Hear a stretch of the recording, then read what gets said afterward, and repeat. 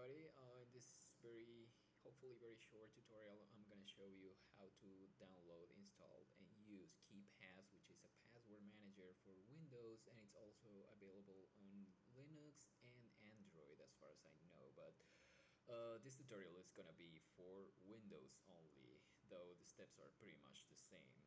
Um, okay so the first thing you need to do obviously is download the software for that what you want to do is go to keepass.info hit enter and that's it. So at the time of this recording the newest version was 2.27 so I'm gonna go ahead and click here to download this version.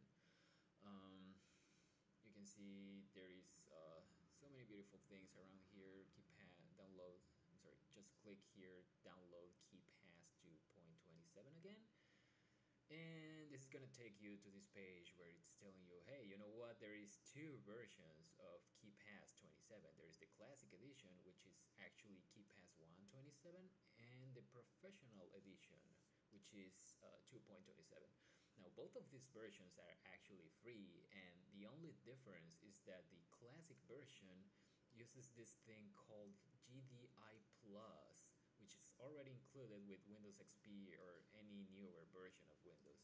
But the professional edition actually uses uh, the .NET Framework 2.0 or newer, which is included with Vista or newer um, operating systems of Windows. So I actually have Windows Vista as you can see here, so I'm gonna go ahead and download this version. So just click here. Oh, one more note. Um, before I go ahead, uh, there's also two versions of each version. Um, the first option that they give you is the installer version and the second one is the portable. Basically what this is, is that um, this portable version is just a zip file with everything you need to run the application on it. So if you're a pro user, you might just want to download this one, but since this is a tutorial for newbie users, uh, we're gonna use the installer version. So that's what I'm gonna download. Just gonna click here. Um, you're gonna see, you're, you'll see that it will start in two, one, go. All right, so I'm gonna download this to my desktop. Or wherever this thing downloads. Anyway, so I'm just waiting for it to finish. It's done so I'm just gonna click here. Are you sure you know what you're doing? Yes I do know what I'm doing so just run it. Uh, yes I want to install in English. Thank you very much welcome blah blah blah. Next uh, yes I agree to the terms of service. Next uh, that directory seems good to me. So next. And yes I want every one of these things. So yeah next. Um, this option here, associate KeePass with the KDBX file extension, it uh, makes this program open this kind of files, which actually I think it's the only program in the world that uses this extension. So it's up to you whether or not you want to associate this application with this type of files. So I'm just gonna leave it on the default for now. I'm actually gonna close the browser now because we're not gonna use that for a while actually. I'm just gonna create a new tab and leave it there. So back to the setup. Um, so next and install. It's gonna do lots of fancy things. For a few seconds. Um, sit down, enjoy life. Things are good. So okay, it's done, and you can see here it says, "Are you? Uh, do you want to launch KeePass? Yes, please." So we finished installation, and uh, it's asking me if I want the application to check for updates automatically. I'm gonna say yes because it's the recommended option. If you don't want it to, you don't have It's up to you. So I'm just gonna click enable here. Um, the, very, the very first time you launch KeePass, you're gonna see this thing, uh, which really doesn't um, tell you anything, what you can do, what you are supposed to do. Um, the magic begins when you actually create your first database file. So um, this database is going to be um, a collection of all of your logins, your usernames, your passwords, some additional information that you want to put there. And well, in order to save that information, you need to create a database. So that's what we're gonna do right now. So I'm gonna go to File New, or you can just press Control N, or actually you can just click here on the new icon on the toolbar. So I'm gonna do that, and it's gonna ask me where I want to save this database file. Um, now this is very, very, very important because the fate of all of your information depends on this database file every single one of your logins, your passwords, your uh, additional information is going to be stored in this database file that you choose. If you lose this file, you're going to lose everything. There is no way to recover it other than by using this file. So be sure to first know where you're saving this database file. Two, make regular backup copies either to your cell phone or a USB drive or maybe even the web uh, if you're not paranoid as I am. But uh, so for now, I'm just gonna create a database file called, called um, secret information.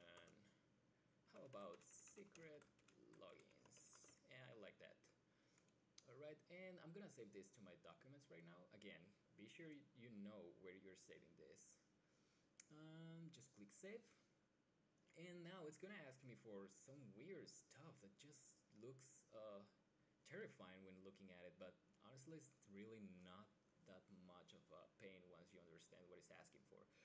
Uh, this first field uh, the master password um, it's gonna be used to encrypt your database file.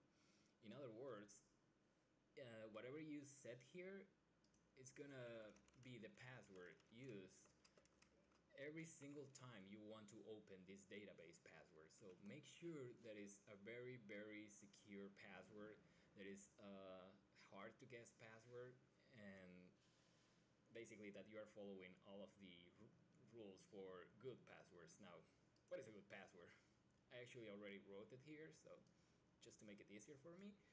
Um, a good password contains both uppercase and lowercase letters. That is, for example, you want to say hello with uppercase H and not um, hello all lowercase. Also, you notice that this little bar here changes every time I type something. This bar is telling you how strong is your current password. So you want to get it as close as full as possible.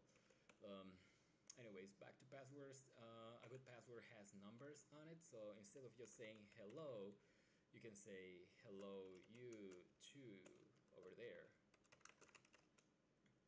and a good password also has special characters on it um, this can be anything like for example uh, spaces like I did here or you can use things like commas exclamation points or maybe uh, parentheses who knows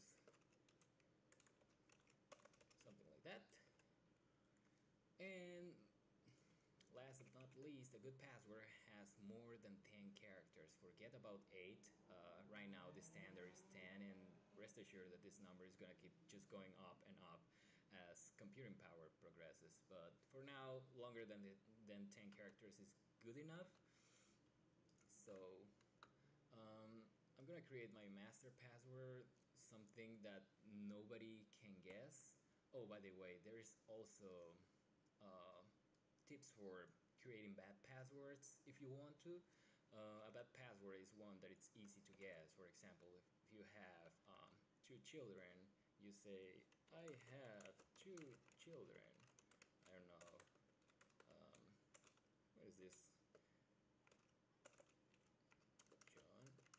John and Mary. That's even though this is a very long password and you can see here it says that it's very secure it's really a bad password because all of these are very common words and if your children are actually called John and Mary uh, a lot of people are going to try to guess this uh, so you really don't want to use this as a password. Also bad passwords are short. Remember how I was just typing hello well, that's a really bad password, as you can tell down here. And uh, well, I already mentioned that basic uh, that bad passwords use only basic, very well-known words, like for example, only words that are found in a dictionary. try using words that nobody knows about. If you speak a foreign language or any other language, try mixing them. Like for example, hola. Speak something like that. Um, and of course, a bad password is something that is either really hard to remember or really hard to type to you because remember, you're gonna be typing this password every single time you try to open your database. So it better be something that you can type really fast and that is not gonna slow you down and that you're not gonna get annoyed to typing every single time. Um, in this case, I'm gonna go for something simple like uh, something simple yet hard to guess. OMG really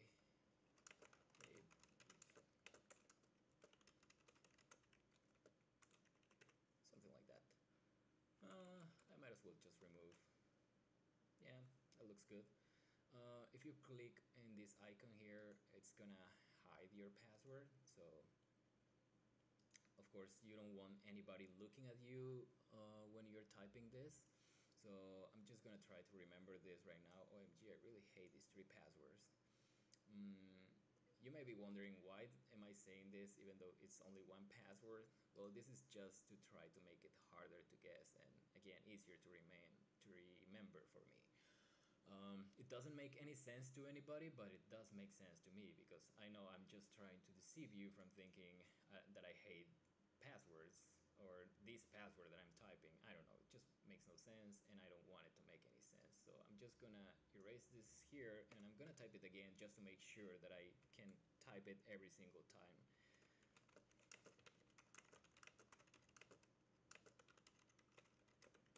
There you go. Uh, it's fairly secure. Okay, so uh, these two options are a little bit more advanced. I totally do not recommend using this last one. Uh, you can read the warning here, but uh, in short, don't use this one. Um, this one, I'll talk about it later if I have more time. Uh, suffice to say, this is uh, just additional security, and you can play with it if you want. Let's not use that for now. So, OMG, I hate these three passwords. That's my password, so okay. Now it's gonna ask me for a few options for this database. Uh, you really don't need to fill any of them other than this one I totally recommend coming here and at least clicking this one second delay button. Uh, what this does is increments this nice little number that you see here. It may not seem important to you. Um, the non-technical explanation is uh, the higher this number, the harder it is for a computer to do a brute force attack on your database. Um, I'm not gonna go into technical details, but you want to make this number as high as possible, but not so high because it's also gonna make loading and saving your database a lot uh, slower. So again, the higher the number, the slower it's gonna be to save or load your database. So just one second delay is good enough. Um, for the rest of the options, that's just okay, just leave it like that. You may want to give your database a name. For example, I'm gonna call this my data and maybe a description.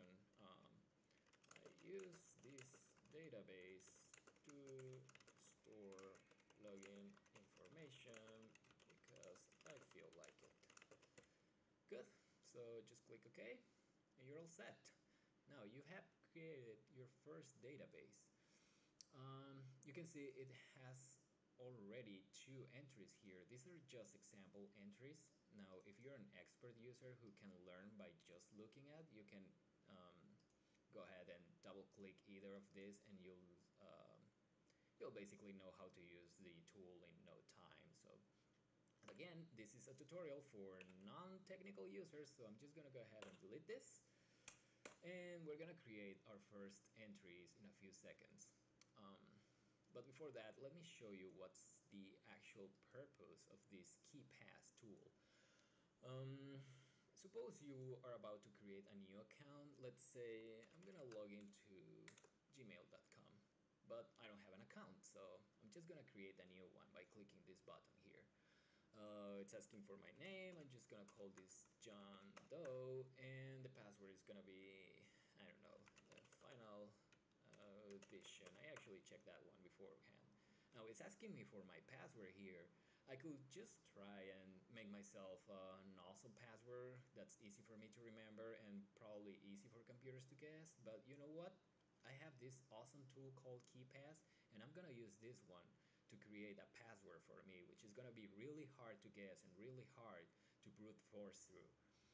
I'm gonna show you how to do that. You can just create right click here and click add entry or you can just click this other button here that says add entry or I believe there is also an add entry here nope there's not um, so either way um, your choice or you can also press control I so again your choice this is gonna open this window to create a new entry every entry has a title now this title is actually very important because it's gonna be used for auto type. I'm gonna show you how to do that in a few seconds, but uh, in this case I'm gonna call it Gmail.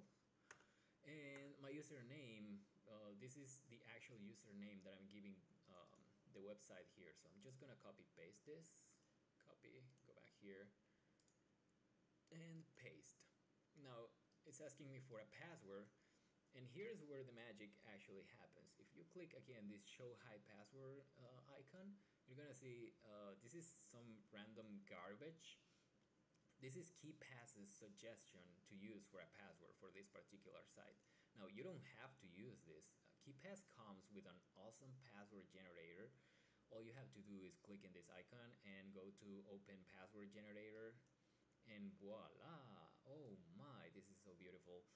Um, in this screen you can tell KeePass how do you want it to generate this password? You want it to have uppercase letters lowercase letters digits uh, the minus sign the underscore sign white space special characters and other special characters and even these high ANSI characters now in my experience um, these high ANSI characters causes many many sites to break and stop working so I do not recommend using this option unless you know what you're doing. Um, additionally, you can tell uh, KeePass how long you want your password to be. So I'm for now, I'm just gonna say 20 characters. I'm gonna click OK.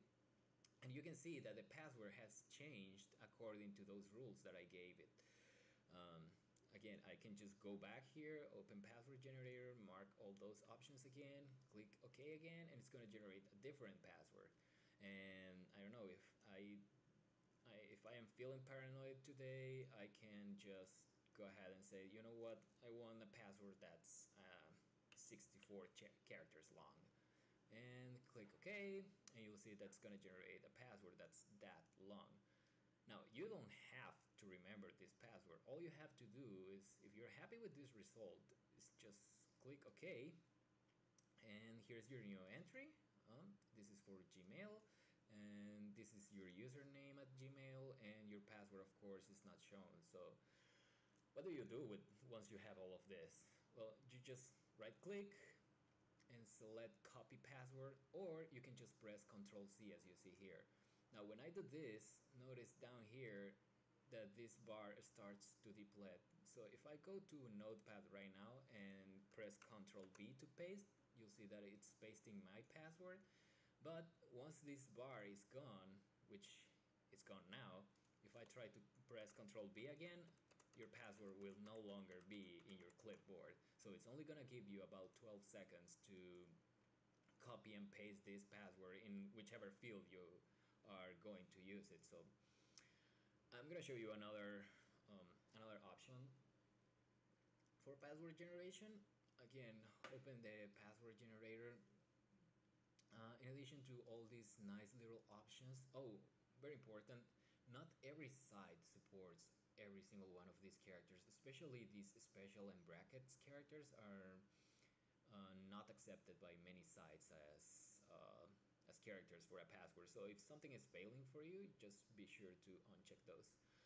Um, anyway there's another option down here that says collect additional entropy. If you hit this one and click OK you're gonna be shown with this um, fancy window that looks so weird but what it's telling you is that it's going to generate a random password using the information that you give it here. Again you don't have to remember any of this information it's just used for random number generation. So um, one thing you have to do is move the mouse around this uh, grayish area. You'll notice down here that as I move the mouse um, this bar starts to fill up. That's how many bits it has collected from your mouse movement. So in other words every time you move your mouse it's generating a random number based on the information that's below the mouse. It's also asking you to type some random characters here. So what I usually do is go to whatever I have in hand like for example I just go to Google and say whatever dude and I don't know just copy this. Control C go back to B again it can be anything. You can fill it with just random trash if you feel like it if you you can use whatever. Uh, it's just random information for random number generation. You don't have to remember any of this. So I'm gonna click OK here. You can see now the password is um, is not being shown. I don't need to see the password. I'm gonna show you. I'm just gonna click OK. So I'm gonna click I'm gonna uh, select this uh, first entry hit control C go back to Gmail and just hit control B twice and that's gonna be my password. And I'm, I'm, I'm done here. So I'm gonna prove that I'm not human. 1172 and I agree to the terms of service. Go to the next step. Uh, don't remember passwords for me Firefox. Thank you very much. Um, oh you can't leave your birthday empty just gonna give some random information here. 01 whatever. 1980s because the 80s were awesome. I am something else. So now again my password is no longer in my clipboard. That's not a problem. I can just go back to KeePass and uh, select the entry control C control B and control V. And let's try again I can't read this image. So let's try again. 255 huh. Huh. There you go. 255 next. Awesome. Um, do I want to create my profile? No thank you. Now my account has been created so I'm just gonna go to gmail.com hopefully it's gonna load very fast. Actually mistake I apologize. Before doing this I actually have I wanted to sign out. And now I'm gonna go back here to sign in and um, here's some of the awesome magic. I could I could just go back here and say you know control C control B. But um, KeePass actually better feature. I'm just trying to get rid of this. Yes, I'm done. I'm just has a much better feature called auto type. If you see here, um, actually it's not shown here. Oh, yeah, it's not shown here, but don't worry. So all I have to do actually is just um, select the username uh, text box and hit Alt Control a it's gonna type my username and password for me. I don't even have to do anything and I'm done. It's really, really that simple. Now you notice that when I signed out a few minutes ago, it was it actually remembered my username and all it was asking for it was my password. Well, um, KeePass actually knows about this. So I'm gonna back, go back here to this first option and double click on it to edit it and go to the auto type tab so you notice here it says inherit from auto type sequence blah blah blah. What you want to do in cases like this is override it and you'll see um, this information here says username tab password enter. This is what KeePass is actually doing when you press Ctrl Alt A. Uh, it's typing your username then it's pressing the tab key then it's typing your password and it's pressing the enter key. That's what you saw a few minutes ago when I just pressed Control A, Control Alt A. It typed my username and then it suddenly jumped to the next um, text field that's because it uh, it just pressed tab for you so if you press tab on your browser you'll notice that this little um, focus indicator changes from one place to another so what you want to do in cases like this where you know that your username is already gonna be there is just um, edit this text so you get rid of your username and the tab key so that it presses uh, sorry so that it types your password and hits enter. And that's it. Hit ok. I'm gonna hit control alt A again. It's gonna type my password and it's gonna sign me in. Awesome huh oh I have three emails already and that's about it. Again for every site that you know of say for example I love this site because I'm a shopaholic. I want to create a new account here.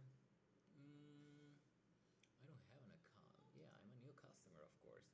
My name is John Doe. My email address oh gee I don't remember what my email address is.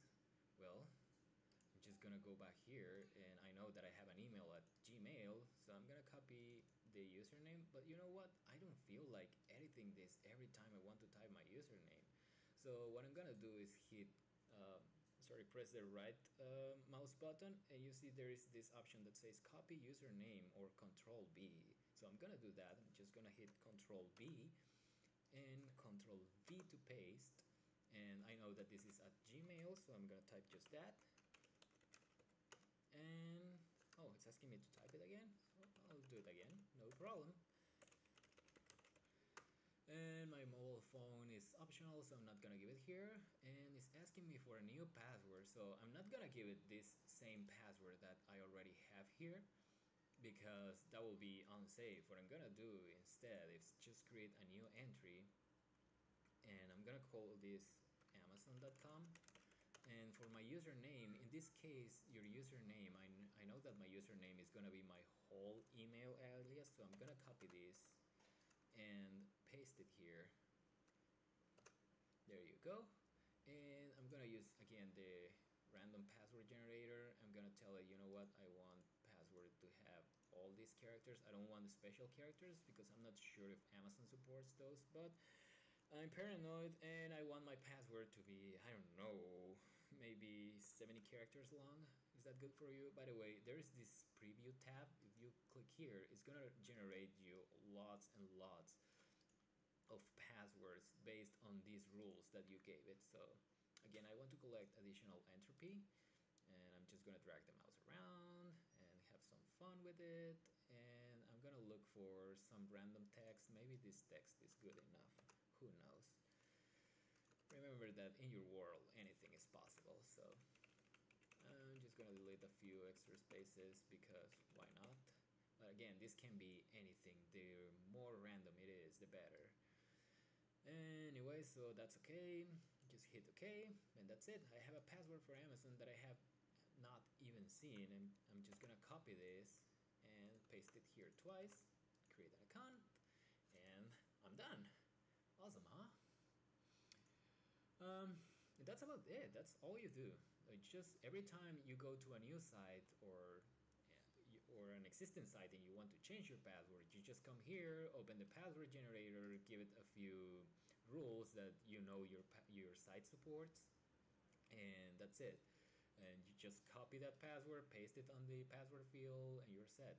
Another interesting feature that I want to mention before I go is each one of these entries supports additional information like for example um, for Amazon I would like to say I don't know my credit card. Actually this will be more suitable for like your bank account password but just to give you an idea then you enter your credit card number here. Of course this is not my credit card I swear to you. And that's it. This information is going to be stored in your database. Uh, one very very important step that I have not performed yet is save your password your password information your login information everything we've done so far is not saved until you click here on save. Of course you can also go to file and select save. And if at this time you go to your um, oh wow at this time you go to to your computer go to your documents you see here's your uh, database file and again if I try to open this file in a plain text editor it's not gonna let me because this file is actually encrypted. I don't want to save that no problem. You see nobody will ever be able to read your information unless they have your password. Again if you lose this password or if you lose this file all your information stored in this database file is gone with it all the information is in this particular file so make sure to have a backup in a different computer in your cell phone in whatever you trust the most. Um, because you're gonna lose it someday. Something is gonna happen. Maybe your cousin is gonna come and just press the spacebar and hit the delete key and say yeah I want to delete this. Or who knows maybe your your hard drive will explode or maybe who knows a million things can happen and rest assured if you say no that's not gonna happen to me it is gonna happen to you so yeah that's about it um, one last thing for added security remember that at the beginning I mentioned that this key file provider option makes things better for you um, by the way, I already forgot my password here. OMG. I hate these three long passwords.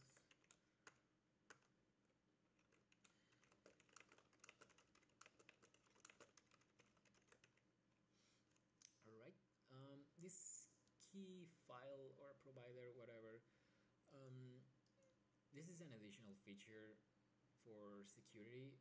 You can basically pick up any file that you know of. Say for example I have music here. Yeah I have sample music here. I could pick any of these files and those will be used to encrypt your final database file. So it will use both your master password and this key file to encrypt your file incrementing the um, how do I say this making it a lot harder to just try to guess just your password so imagine that somebody you thought it was your friend gets a hold of your master password and also gets a hold of your database file of um, this file over here. If you are using a provider file or a key file or whatever this file is called, they will not be able to open your database because they also need this additional file that you're using to encrypt your database. Now, if you don't have this file either you won't be able to open your database okay? So it's very very important that you use this um, that you keep a backup of, the, of this file along with a backup of your database. And it's also very very important that this file that you're selecting here is never ever changed because if you change even a single character that's gonna make it a different file and that's gonna cause that this uh, provider file is not the one that you use for encrypting your database and hence you won't be able to actually open your database. I'm gonna show you a very quick example. Um, just gonna type notepad here. I'm gonna type uh, this is my key file. Seriously, that's all you need. Save it as one.txt file. And I'm gonna change my options here for master key. I'm gonna use a shoulder key just for demonstration. I'm just gonna use the worst possible password ever one two three four five six. Do not use this password okay? This is just for demonstration purposes. And I'm gonna select a key file that's gonna be this one.txt gonna hit OK. And settings have been changed that's good and I'm gonna hit save. So now I'm gonna close this database and try to open it again. And it's asking for my master password. Notice that it already knows where my key file is so it's telling me hey you want to use this right? Yes I do. So I'm gonna use just gonna type my password. And voila it's open. So let me show you what happens when the file is not correct. So I'm gonna try to open that same database again uh, open file. And I'm gonna give it a completely wrong file just for the sake of it. I'm gonna give it another of these files. And again my password. Okay. It's gonna say you know what? I can't open this database using that information that you provided. So again the key file is is very important. I'm gonna show you one last thing. I'm gonna change this I don't know uh, this I for an uppercase I. I'm gonna save this file file save I'm gonna try to open this again. One two three four five six. Okay.